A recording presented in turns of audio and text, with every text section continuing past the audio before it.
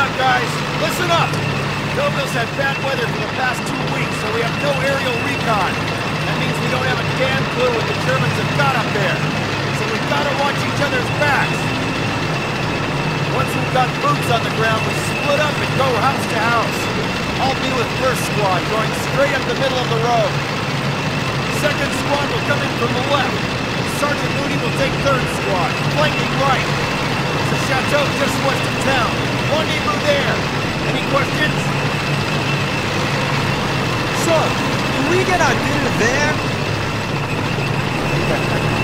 You're cooking, Anderson.